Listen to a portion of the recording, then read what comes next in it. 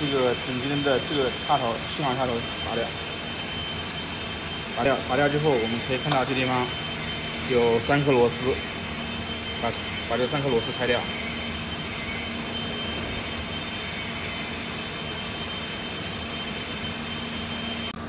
拆下来之后，我们把这个镜头取下来，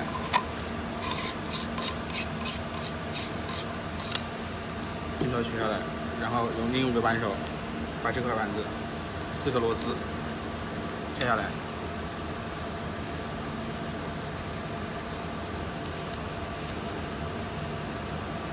然后拆下来之后，我们把新的整机拿过来，然后把这四个螺丝装上去，把这块板子装上去。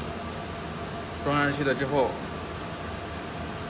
装上去了之后，我们把镜头上上去，